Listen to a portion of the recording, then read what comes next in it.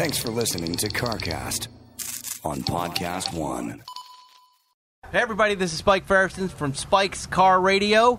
We're out here in the porch of uh, at the Malibu Kitchen at the Malibu Country Mart every weekend doing podcasts. My first guest is Jerry Seinfeld. He's right here. We're going to have Jeremy Piven. We're going to have Chris Hardwick. See you soon on Spike's Car Radio. I think he's over projecting for a podcast. and I love to overproject for podcasts. Join me every week at podcastone.com and Apple Podcasts.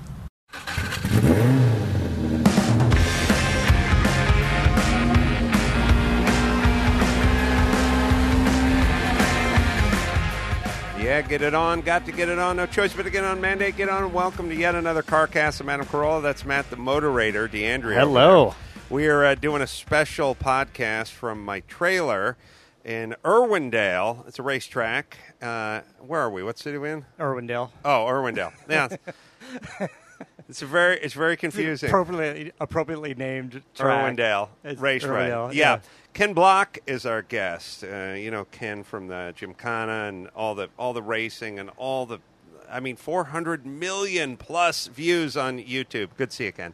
Thanks for having me. Uh, so we're all doing this project out here. I don't think we're supposed to talk about the project, but I'll just I'll just tell all of you. For some reason, we just started a podcast, and the and the, the, the boss walked in back there. Where Oh. We could talk a little bit about what we're doing, right? We could say that we're doing a Forza Motorsport commercial. okay. Well, I we can't got see the, the, nod. boss of it. we got his- the nod back there. when his head starts, It's starts his job on the line. No big deal. So uh, we'll we'll do a slightly abridged version of CarCast because uh, it's lunch break for us, and uh, they're going to need us back on the set pretty soon. So uh, Ken, so I was talking to you about uh, the, the all-wheel drive and drifting all-wheel drive. And it, it seemed like a little counterintuitive because you think, well, the, you went the rear end coming around, and then you picture all those 240 SXs so they started, and like all the cars, the Mustangs, like Yeah. eh, everything was just rear wheel drive. And now you told me it was better to have the all wheel drive, but I hear about the incredible obstacles. yeah, that like you have it's to get- better if you can make it work. But otherwise, good luck. But uh, is it is it? I mean, if you could put a number to it, like percentage wise, is it that much better? Like if you built another super drifting mobile, would you go? It's got to be all wheel drive, people, and we got to do all this to get by it, or we can just go rear wheel because of all the hurdles we had to get over. Uh, well, for me, it, it's all wheel drive or nothing. It's just what I've done my entire race career. Now, remember, say back in the 80s, oversteer was basically something that was a mistake, like in Formula One. Right. That was like, oh crap, the tires are getting hot. We're oversteering now. But in rally in the 80s, they started using all wheel drive, um, and you started seeing. Uh, you know, videos and the TV coverage, you know, from Corsica and, and Australia, all these places where there's using all-wheel drive cars, but sliding them around these hairpins and, and everywhere. So really controlled sliding really came from rally, not only in the you know 60s, 70s, and real simple rear-wheel drive, but then in the 80s in all-wheel drive, and from there on, all of rally, be it tarmac or gravel, uh, is really the the main part of sort of controlled oversteer with all-wheel drive. So it so to explain, we haven't really changed much with the car. We, we control a lot of kind of the balance of the car and how it turns and everything with the way the diffs work and how the suspension is set up. We can dial in more oversteer or uh, more understeer, all that sort of stuff. But sliding an all-wheel drive car is something that's been done since the 80s, and Yeah. it's actually really quite normal type operation. And Well- since I started racing rally, 2005, I basically had to learn how to slide an all-wheel drive car around on gravel. Right. Now it makes sense now because I picture your explanation is succinct because I'm picturing I'm picturing drifting, but now when I'm thinking about rallying and all those all of them, but especially the starting off with the quattros and stuff. It just sliding all the way around those courses in Europe. Right. Watching clips of it last night on Leno's Garage, and you know it can't be overstated enough. People on the inside of the corner, people on the outside of the corner, who can touch defenders it goes by. Yeah. I mean, absolute insanity. And you know, you travel through United States and you see a guy drinking a beer on a on, in a cafe and smoking a cigarette, and you're like, uh, what, uh, somebody arrest that guy. He's going to get into trouble. He's got a beer and a cigarette. I don't care if it's outdoors. And There's kids around area? here. What's yeah, and there they're just holding a beer, and everyone's just flying past. And one thing that Matt and I have been talking about, and you might have some insight to this, is you know, we're always talking about the collector car market and, and where it's going and, and, you know, buy an old Ferrari, buy an old Lamborghini. But so we've been noticing that old race cars have been getting expensive and specifically old rally cars, 80s, like rally, 80s and 90s, like really, you know, the Renaults and, and all, all the Fords, all of it. Like that that market has jumped a lot. I don't know if you've been following that market. I don't know if you have any of those cars. I, I, I do, and I and I follow that stuff. Uh, there's a couple reasons for that. Eight, the '80s is um, it's the Group B era of rallies. Right. So the Lancia Delta, um, and the uh, Audi Quattros and the Ford RS 200. Yeah. Those those were already quite valuable, and now they've just become more and more sort of rare and hard to find because people are actually just holding on to them more too. And then the '90s, uh, I just tried to buy a, a, a '90s Group A Escort. Uh, and they're getting harder and harder to find because now the 25 year, year rule of not only importing them but also uh, racing them. So once a car becomes a certain age, then it's eligible for classic rallies. Well, now the right. early 90s are coming into that age, so all these cars, the Group A WRC cars, are all being harder and harder to find, and the prices are just going up. That's an interesting When I- point when of I view hit- because you're looking at them to race them, and we're looking at them. We're starting to see them show up at like RM and Gooding auctions where you would never see these Well- cars. well, right. Well- pulling 100, 200, some 300 Right. grand. Well, well, the demand for the race Yeah. has then caused the price to go up. That's basically what we're seeing. We've seen it a lot in just the last couple years of the See, early that's, '90s cars. that's a vintage Ford Escort. But if you want just a vintage Escort, Yeah. like if you just hit the streets and you're looking for, I can get you a deal. The '90s Escorts are much cheaper than like today's versions. You get a super break on vintage. Is just 90s not the Ford age or Escorts, the just, era? Just 90s era Escorts all day long, man. Could I give you a break on them? Yeah, real quick, let me tell you about Alone. Back for the fourth season with a crazy new twist. The rules have changed. Ten survivalists are still dropped into an unforgiving wilderness, but now it's five competing teams brothers, fathers, sons. Uh, uh, there's a married couple in there. It's a different kind of survival show. Besides their teammate, they're truly alone. No camera crews. They film themselves, no gimmicks, no forced challenges. Smart, man. Teams are split, equipped with five items each. To win, they must find each other and survive. The very unforgiving North Vancouver Island, the longest, and they're $500,000 up for grabs. Whoever wins this thing's going home with a boatload of money. Tune in for all new season Thursday, 10 o'clock, 9 Central on History. That's alone. 10 o'clock Thursday, 9 Central, only on History. So, you know, when we were at um, Goodwood, yeah. a couple of. Wait, you must have been to Goodwood. He, he was Yeah, at yeah. the hill climb when we were there last year. Right, right. The, the. Wait, we were at the hill climb. Last year. Right. The hill climb was like last week. oh, right, right. And so we were all there the year right, before. okay. Now it's all coming back to me. But they, they have a vintage rally up there at the top. Have you seen that? Uh, well, they have a very nice kind of narrow stage up there. yeah, that's it's not really not your kind of rally, but I mean, Yeah. it seems it's like the first I saw of like what I would call like a vintage rally event. I didn't know about vintage Yeah, rally I. I, I don't know that they only run vintage cars though. Oh, they 'cause I've- probably run everything, yeah. because I've run uh, a Focus and a Fiesta up there, uh, but most of the cars uh, that you see that come out uh, are, are older cars, and that's the amazing thing about Goodwood. You go there and you watch the hill climb. If you're interested in Formula One cars, you know, or or you know DTM cars, or you know modern bikes and modern Yeah. cars, like it's amazing to stand on the side of that road and, and watch those things go up. But then you can go to the top of the hill and watch that rally stage and see amazing classic, you know, Group B rally And cars. we didn't even notice 90s that when we were there. We're like, where's these people going through the forest in these cars? And we're like, there's another event. There's like rally cars, and then we saw like uh, uh, guys on motorcycle, like Supercross, fl- flying through the air on another part of the. Like we didn't get a chance to see hardly any of that stuff.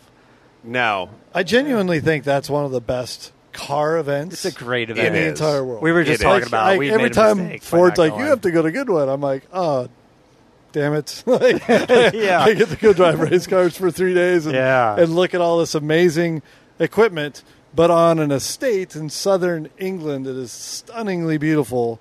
And I mean, it's so beautiful and so picturesque. I mean, it's where the Rolls Royce factory is. Yeah. Yeah, if you know that, that Yeah. they, their factory is on the southern part of that property. Yeah, you it's pass literally by, just you could at the pass, end of the road Yeah, you when, can you, when by. you go down the road. And Yeah. you know, actually, for you and the kind of equipment that you drive, the the only downside, if there is a downside to Goodwood, is it could be raining when you're out on the the track in your slicks or whatever your car that's not really meant for that. But but the kind of stuff you drive. That's actually just kind of ups the, the fun factor, right? Yeah, I mean, if you're to have one car out there that really fits that sort of situation, it's an all-wheel drive car, and we generally bring a wet option set of tires for just for that exact reason. It's England; it's going to rain at some point. I had Uh, slicks that somebody took like um, a soldering iron too, and just Yeah. put some like It looked like that, but we just it. used a white sharpie to Oh, make it's just it a look white like Sharpie. make it look like there I was didn't- I didn't grooves. in feel there. anything when I moved my hand, but my hand was white. We're like, we don't want to make Adam nervous. Let's just draw some grooves with a white sharpie from five feet away. It looks like it was. So basically, what I had was no, not a good set of dries or wets. I said had I made some in betweens. The uh, yeah, you're so- fine. Yeah, it was fine. So uh, Gymkhana, we're talking about uh, seven was L.A. How do as someone who comes from L.A. Oh, you come from L.A.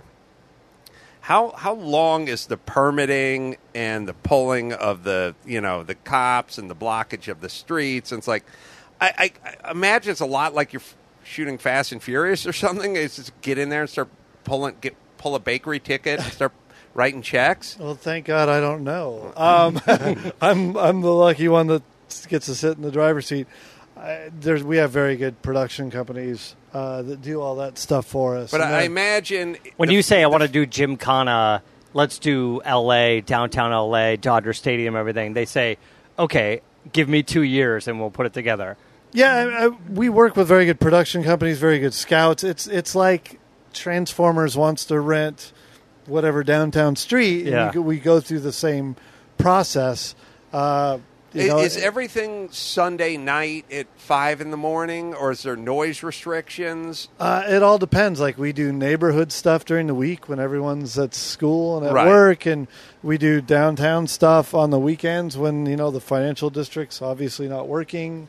So it's it's all very smartly done by people much smarter about that stuff than me. Is So- there is there a is there a, a So- Moby Dick or a you know just sort of fantasy like through Manhattan down, you know Broadway, Times Square, like like Where you want to do The- Gym, yeah. completely underwater. the yeah. I mean, do you have a you know Blues Brothers through a shopping mall? Like, is is there something that's on your bucket list? Um, I have to say that uh, I've been very lucky to do the, the videos that we've done. We've done nine of them, and now we're now working on the concept of ten. Um, but I'd have to say that because I grew up in Southern California and I grew up watching movies like Bullitt, San Francisco was, was like it's like the ultimate playground to me. LA's cool. I enjoyed playing in LA, but San Francisco just with all the elevation changes and jumps and the water in the background and like twisty streets like and we we basically set out a menu of like what would be the funnest stuff to do and we were able to do almost everything that we wanted so i gotta say it, it's kind of a letdown when you do the best thing you've ever wanted to do and then like what do you do next you know but i've been lucky to continue to do stuff in in dubai and here in la and and you know then continue to, Yeah. to have I have sponsors an answer that back for me Ken. When you've done everything you want to do, as to what do you do next? You start a podcast. That's that's that's when you're done. When you're about talk done, about other people, what they wanna do. Everything's just kind of in the rearview mirror. Just start a Your partner's hosting the Oscars. you just start a podcast. You call it life. That- Yeah. That's how it works. All right, let's see how we doing on. Oh boy, jeez, What's the time? Let me tell you about uh, Garage Boss. Oh man, love these guys. Biggest complaint about changing the oil, the cleanup, but now there's Garage Boss. We have these guys. I think we hung out with them at SEMA, right, Matt? Yeah, we did. That woman had a lot of energy. She was yeah. fun. She gave me a care package with um, It was like it was like Purell and Purell mints. and stripper glitter. yeah, stripper juice. Thankfully, I had my own stripper glitter already. Uh, Garage Boss, they're the uh, oil drain pans. I got a full line of drain pans with no mess solutions like uh, disposable tearaway sheets, integrated funnels.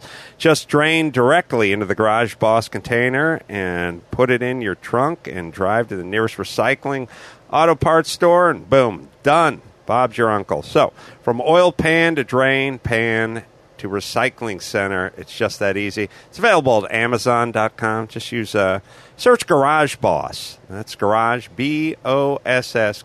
Good company, good product. We love it. We use it. Uh, so Ken, uh, The next, the next yes. evolution of the Gymkhana videos is the Climbkhana.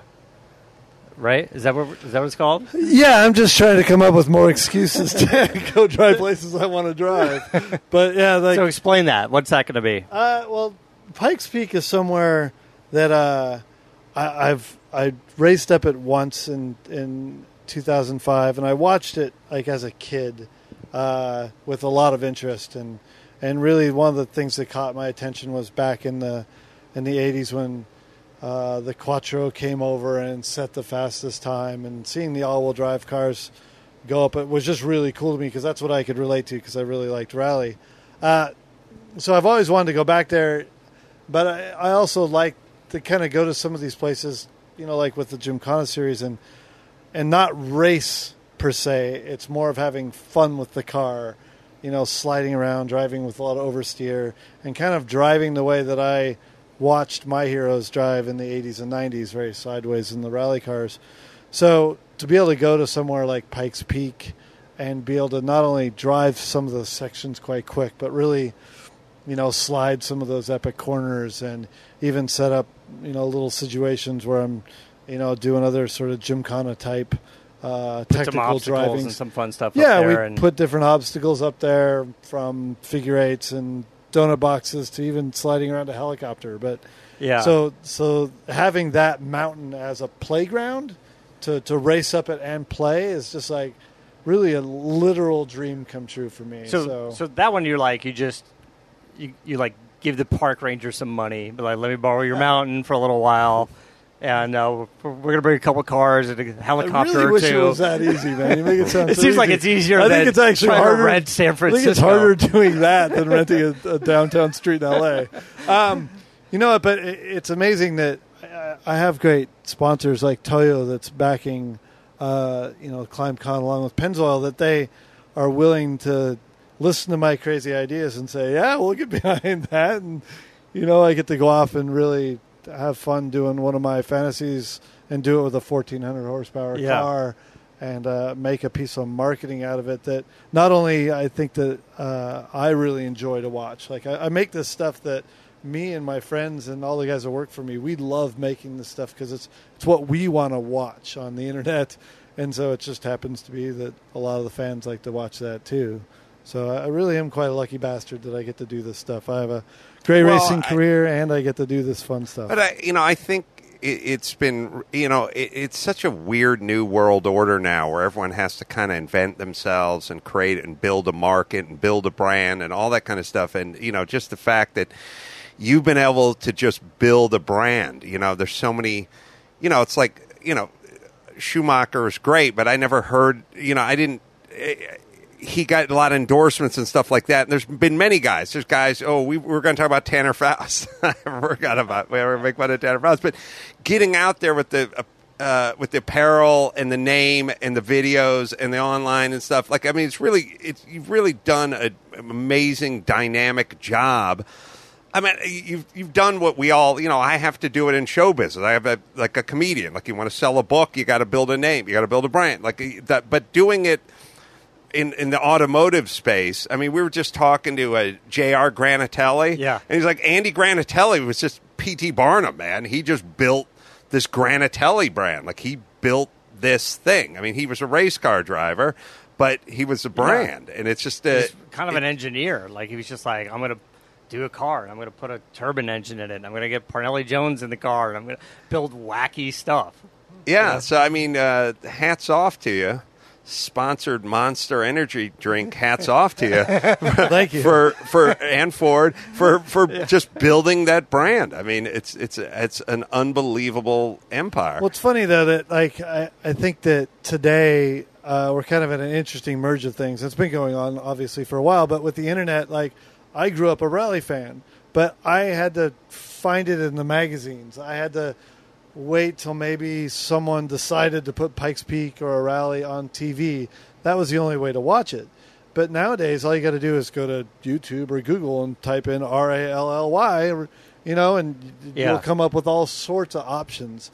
So I think that being able to showcase stuff that we like to showcase, you know, from a custom car build to sliding a corner a certain way, not only are we as brand makers and athletes able to do things that just weren't possible in the past, but as a consumer, you have so many more options out there to kind of see what you want to see. And for us making the Gymkhana series, we're just showcasing something to me that I wanted to see as a kid. I wanted to watch cars slide around and do cool stuff. So we're having fun dreaming that stuff up and then actually making it and doing it as real as we possibly can. Ken's being very humble because take the internet. I love porn, Yeah. but I don't. I make. Let me correct that. I make very little of it these days myself, and especially the guy on guy stuff. I've almost. That's way less than 15% of my business now. Hooniganracing.com is uh, where you go. Uh, the you, you should just go to Hoonigan to see what uh, what's coming up next, what events, what what merch, what what whatever. H O O N I G A N racing.com. Shoot uh, Ken a uh, tweet at uh, kblock43, Instagram at kblock43. Ken, I know there's another rally coming up Canada in about a month, if memory serves, that you're going to be at. Can we see that online, on TV, on cable? Yes, so uh, that's a part of the World Rallycross Championship that I'm racing in. That's our only event in North America. Uh, Ten of the races are over in Europe, uh, one in North America and one in South Africa. Uh, so Wow. that one's in about four weeks up in uh, up near Montreal, Canada, and uh, you can see that on I think Ford Performance broadcasts it here live on their Facebook page. Huh? I don't know what that's saying. Ken, Ken's looking at his people, and they're all shrugging. The, yeah. Oh, yeah, it's YouTube. probably on YouTube. YouTube as well. Yeah. If you don't know where it is, YouTube just, and just Facebook. tweet Ken Block and ask him Yeah. again and again and again until he replies. quick break to talk about Geico. Everybody's got the to-do list. Ah, you got to drop off the dry cleaning. You got to uh, pick up the milk, uh, take out the cat, bring in the dog. No, I think you put the dog. Anyway, go to Geico. Save hundreds of dollars in a car insurance. You don't have to drop anything off or pick anything up. Just go to geico.com.